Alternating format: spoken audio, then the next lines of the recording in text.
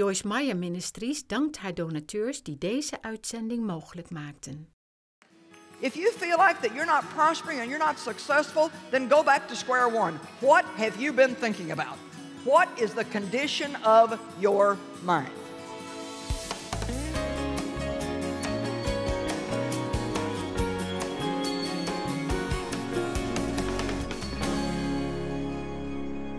Don't you turn to the person next to you and say, What is the condition of your mind?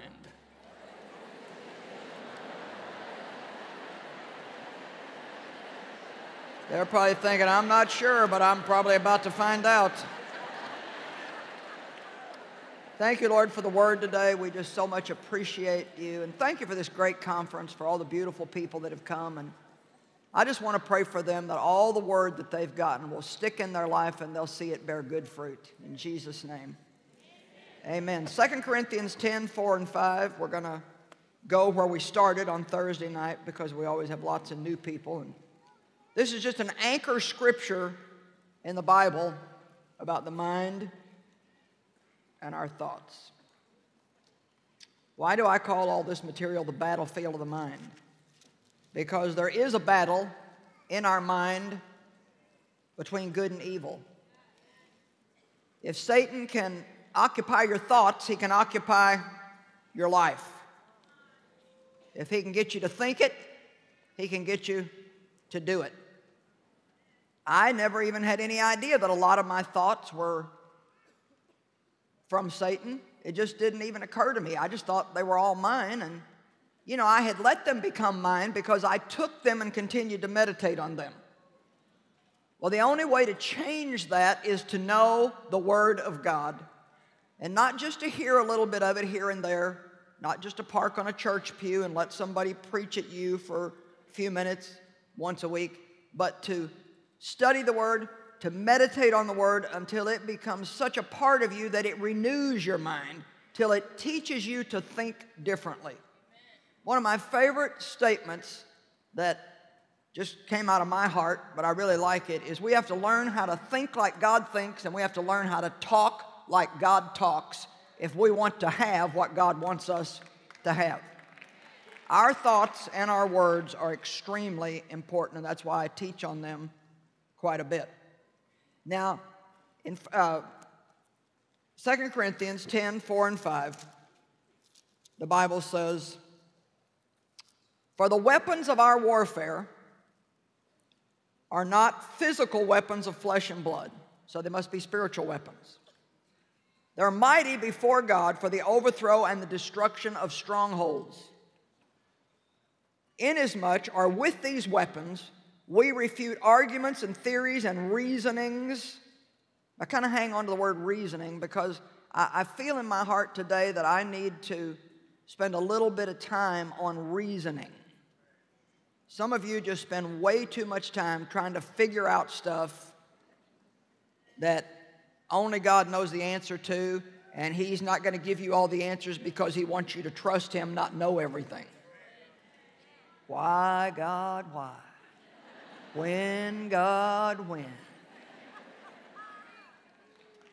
We really get ourselves messed up thinking that we need to understand everything.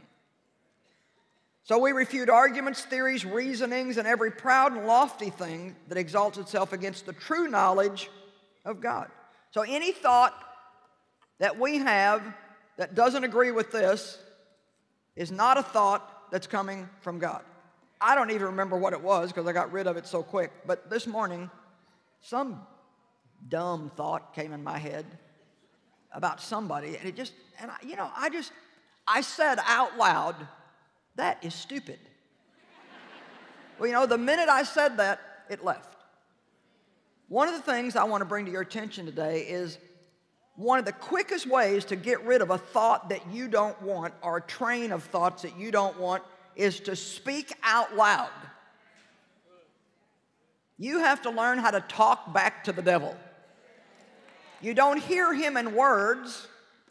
He affects your thinking or your emotions or, or how you feel or something like that. But you can talk back to the devil. Jesus did it, and if he can do it, we can do it. In 1 Peter, it says, resist the devil at his onset.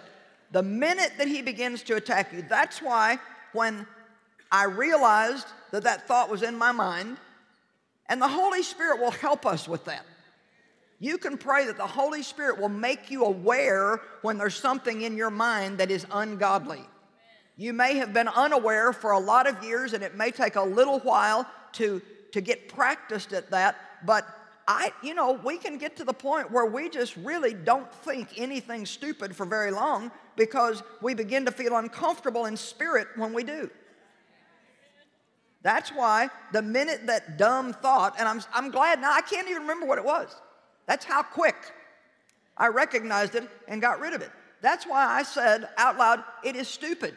Because when the devil said something to Jesus, Jesus said back to him, It is written, and he would quote him a scripture.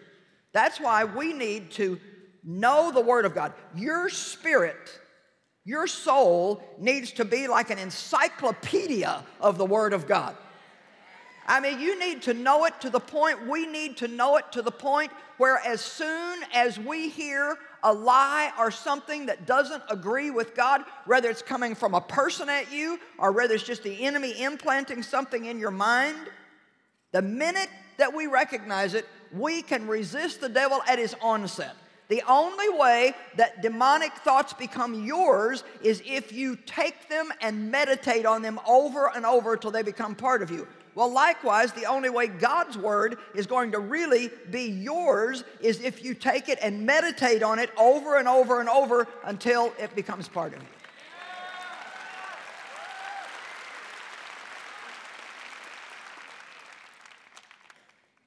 And we lead every thought captive unto the obedience of Christ. Who leads those thoughts away captive?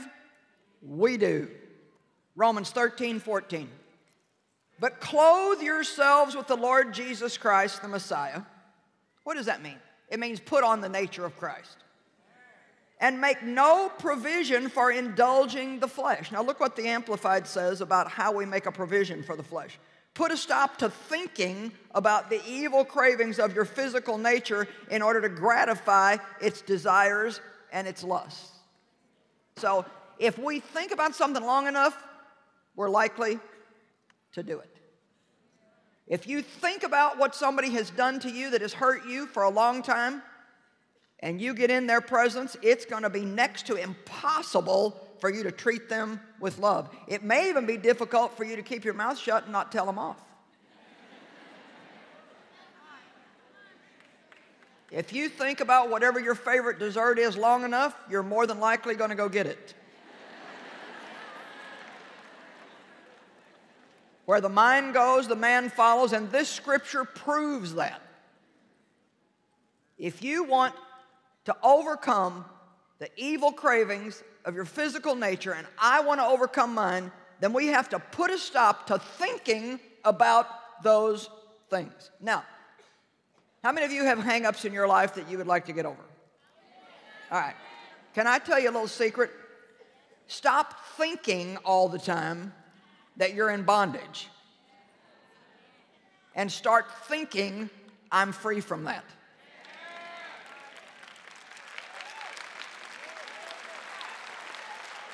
Don't sit around and think, oh, I've got such a problem with that. I have such a hang up with that. Get together with your friends. I've got such a hang up with this. This is such a bondage in my life. I just don't know if I'll ever get free. I'm addicted. I'm addicted. I'm addicted. No, you need to say, I'm free. I'm free. I'm free. I'm free. I'm dead to that. I am free.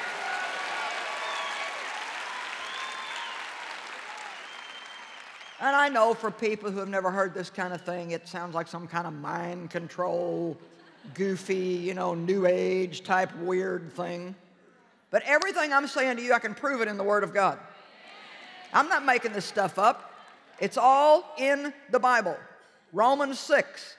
How can you remain in sin when you died with Christ when He died and were raised with Him when He was raised? And then it goes through a lot of other things. It says to consider yourself dead to sin.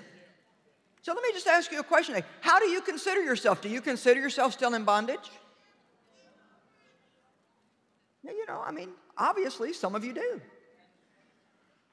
You consider yourself dead to sin? Or do you think about, oh, I got a problem with this, I got a problem with that? Now, I'm not saying that we ignore our problems. I think we need to pray about those things between us and God. If you need to get a word of counsel, you can get that. If you need prayer, you can get that. But I'm talking about in your riding in the car to work thinking, in your taking a shower in the morning thinking, in your laying in bed at night thinking.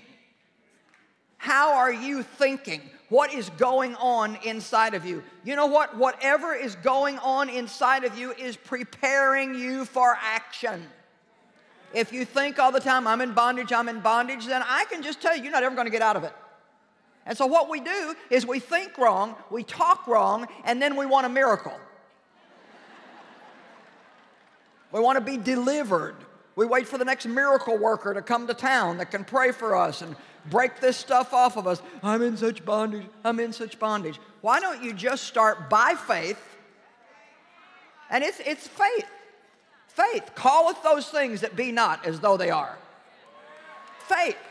Faith agrees verbally with God. You may not have it in reality yet, but the Bible says that it, it, it will be yours. So you start saying, I'm free. I'm free from that. And you are. Spiritually, you are free. Every freedom that you need is in your spirit. You are totally, completely delivered from every kind of bondage. It's just still being worked out in your soul and in your reality. So, once again, put a stop to thinking. How many of you are with me here today? Anybody believe that might make a big change in your life? All right, now we're going to take a few minutes here and talk about the importance of meditating on the Word of God. And, and I want you to really listen to this because if you don't learn to do it, the Word is never become, going to become any more than head knowledge to you. And it needs to be revelation. You don't need information, you need revelation. Once something becomes revelation to you, then it's something that becomes a part of you and nobody can take it away from you. I mean, you would never convince me that God doesn't love me. I don't care what kind of circumstance I had. I could never be convinced of that anymore because I have at least meditated one or two or three million times on God loves me. And I remember when I did not believe that, and I would stand and look at myself in the mirror and say, God loves you. God loves you. A woman sent me a testimony the other day, and she said, All my life I thought I was ugly, I thought I was a failure, I'd been hurt by a couple different men.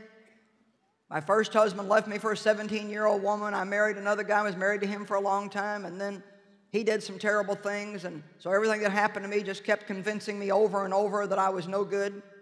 And she said, I remember walking by the mirror and thinking, I'm so ugly. I'm so ugly. And she went to some classes at our inner city church in St. Louis. And they told her there to go and look at herself in the mirror and say, You're beautiful. God loves you. And she said, I started doing that. And now she is completely free, likes herself, doesn't feel that way about herself anymore. Listen to me. No matter what the Word of God says, if you don't believe it, it's not going to ever be real for you. I can believe it, but if you don't believe it, it's not going to work for you. That's why I tell you over and over and over and over and over and over. And your pastors tell you over and over. And it's in books and it's on CDs and it's in DVDs and it's on TV and it's in your Bible. So hopefully one of these days it'll go from here to, oh.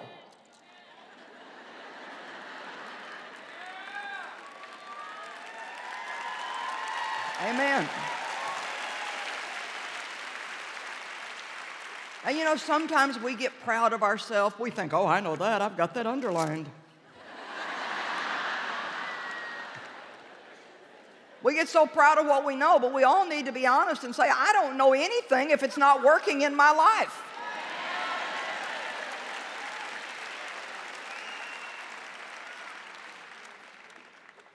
Mark 4 24. And he said to them, Be careful what you are hearing. The measure of thought and study, everybody say thought and study, thought and study. that you give to the truth that you hear will be the measure of virtue, which is another word for power, and knowledge that comes back to you, and more besides will be given to you who hear. So he's saying, when you hear the truth, if you want that truth to have power in your life, however much you think about it and study it is what's going to come back to you. We jump from subject to subject too fast.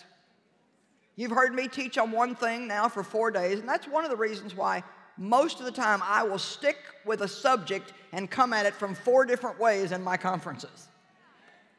Because one pass at us doesn't get it.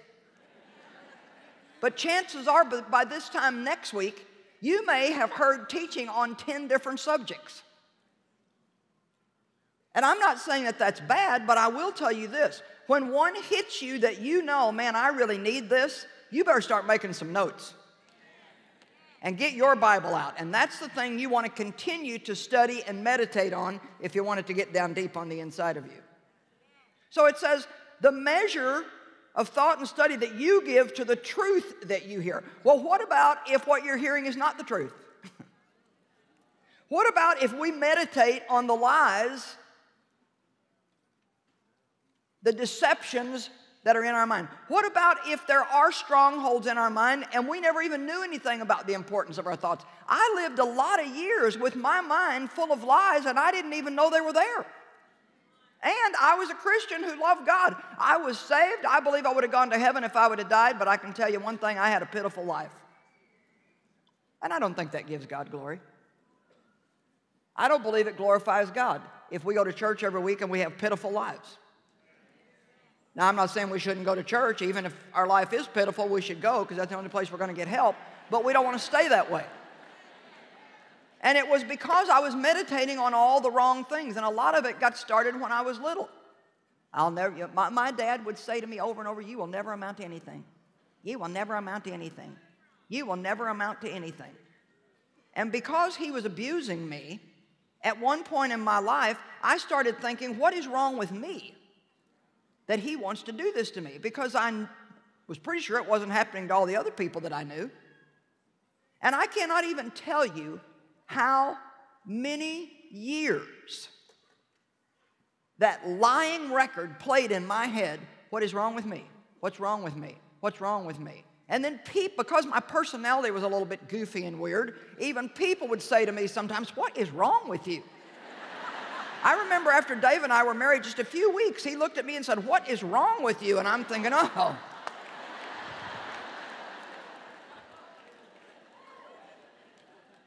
You know, we have such a tendency to compare ourselves with other people.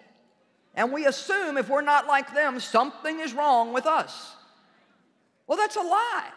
But if you meditate on that, then it becomes yours. It becomes your reality, and you take that into yourself. So, whatever you meditate on, be it the Word of God or the lies of Satan or wrong things that people have said to you, what are some of the things that your parents or other people that you wanted love from said to you maybe 20 years ago that still is like a broken record playing on the inside of you? You can get rid of that by beginning to think and speak what God says about you. You have no idea how wonderful, how powerful, how talented, how anointed, how special you are. I mean, it just makes me want to get up and run the building when I think about what all God has said about us and His Word. Oh, my goodness. It's just so wonderful. Joshua 1 and 8. You know, God had called Joshua to take the place of Moses and lead the Israelites into the promised land. And he gave him some instructions about not being afraid. But here's one of the things that he says in verse 8 that is so important This book of the law shall not depart out of your mouth, but you shall meditate on it. And the word meditate means to roll over and over in your mind and to mutter under your breath You shall meditate on it day and night, that you may observe and do. You see, we only do after it's in our mind. Where the mind goes, the man follows. If we're only going to go hear the word in church and never meditate on it and really let it become part of us, then chances are you'll never do it. Your Bible might look like a coloring book, but you're still not living the kind of life that you should be living. Meditate on it day and night that you may observe and do according to all that's written in it, for then you shall make your way prosperous, and then you shall deal wisely and have good success. What a wonderful scripture that is. If you feel like that you're not prospering and you're not successful, then go back to square one. What have you been thinking about? What is the condition of your mind? How many of you feel like God's got your number this morning? Now, one more. Proverbs 4:20.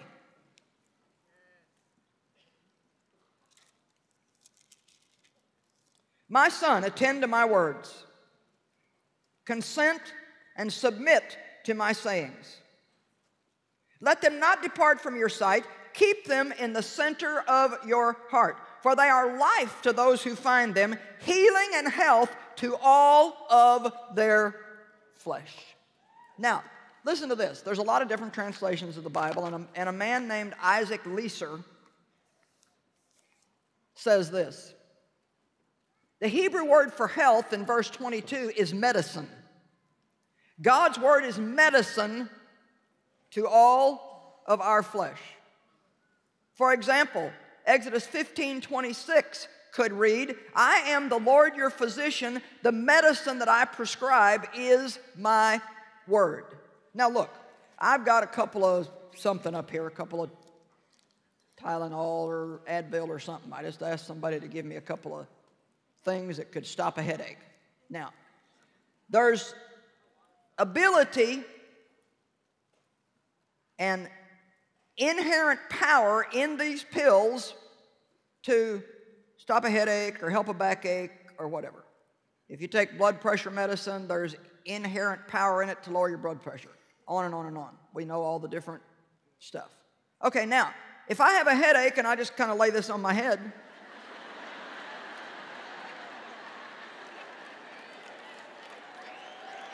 come on, how many of you know where I'm going?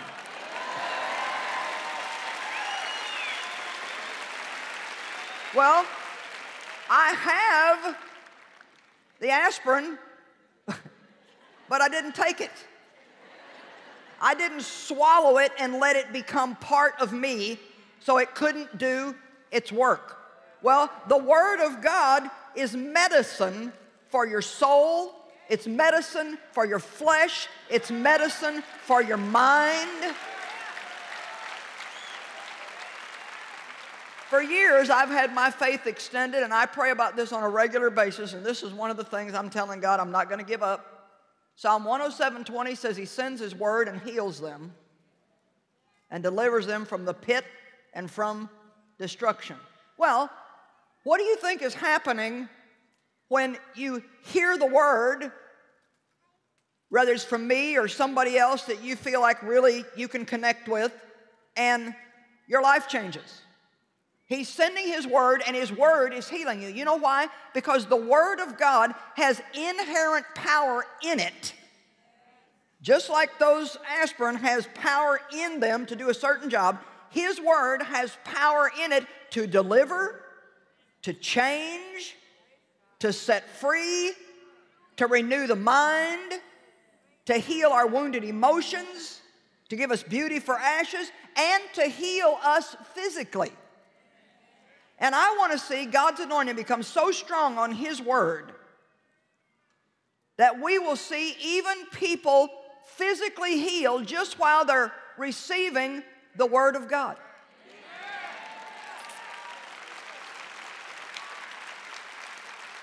And I think if we would approach the Word like that, I'm going today to take my medicine and I'm going to keep taking my medicine and keep taking my medicine till it relieves all of my symptoms.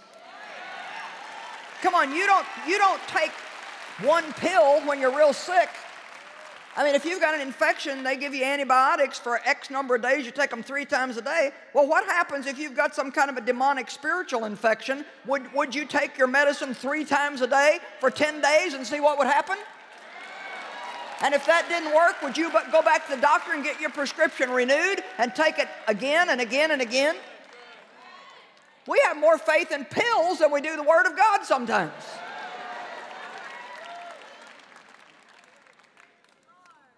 I am telling you that the Word of God has healed my soul. It has renewed my mind.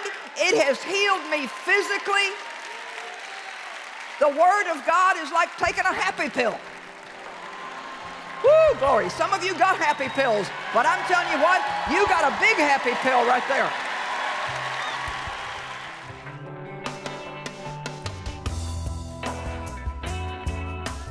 Well, I believe that today's teaching has helped you understand how to meditate on God's Word.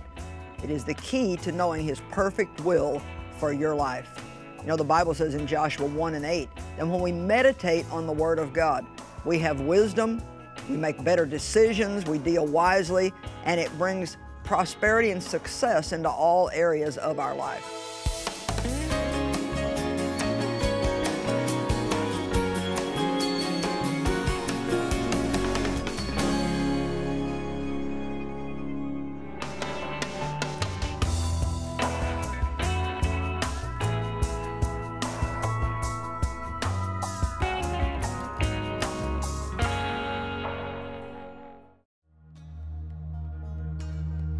Extreme poverty is a huge problem in this area just outside of Hyderabad, India. But there are two young girls that we want to tell you about. Their names are Bhavana and Nandini, and they are facing something that is so difficult. The fact is, they are girls, and that's basically all it takes. My name is Nandini. I'm studying in fourth class. I have nine years old. My name is Priya Bhavana. I'm studying in ninth class. Uh, I, I am uh, 14 years old. 14 years old. What kind of problems are, are your family facing? My father is not there in my home. He is roaming outside. నేను కూరగాయల బేరం ఒక్కదాన్నే చేస్తా sir పరిస్థితి ఇంట్లో బాగుండదు sir ఇప్పుడు operation ఆగబట్టి డబ్బులు లేక అసలు పట్టించుకోకుండా మా దగ్గరే లేడు సార్ అసలు మా దగ్గర లేక ఎక్కడెక్కడో అంటే అన్నీ పట్టించుకోకుండా అవక్కర్లేదు అన్నట్టుగా తిరుగుతుంటే ఏమి ఇబ్బంది లేదు సార్ ఈ పిల్లలతో పడేసాను సార్ నేను భర్త ఉన్నా కానీ లేనట్టే సార్ నాకు God is taking care of you. Yes, uh, God is taking care about me in all my uh, necessities and He is giving me very good health. Then what do you like to do together? Uh, we will pray together every day and we'll pray, play every day. Whenever we have time, we'll make funny jokes. We'll sit, uh, study, and we'll learn about God. What does it mean to you when you come here to visit and you see your daughters are happy? అనుకుంటున్నాను sir నేను అనుకున్న తీరుగా ఉంటురు ఉన్నారు పిల్లలు sir దయ వల్ల దేవుని కృప వల్ల ఇప్పటి వరకు మంచిగా ఉన్నారు ఇంకా మంచిగా ఉన్నారు. అలా నాకున్న బాధలన్నీ పోతాయి sir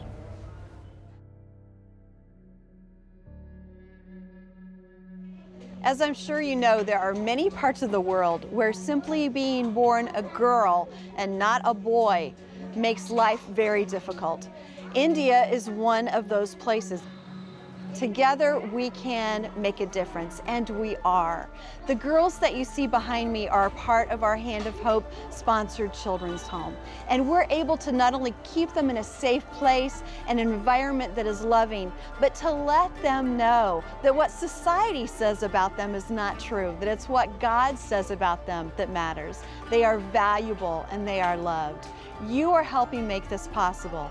Don't ever look at a situation and think it's too big to make a change. Together, we are making a change, and we thank you for being part of it.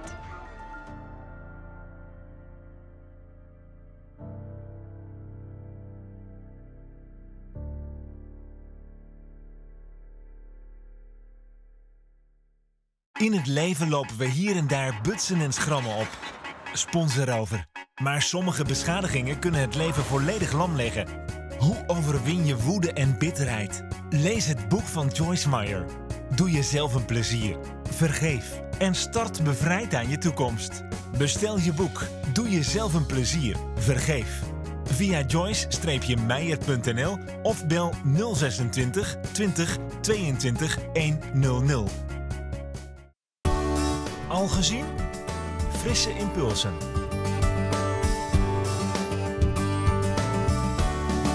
Nu bij Joyce Meyer Nederlands op Facebook.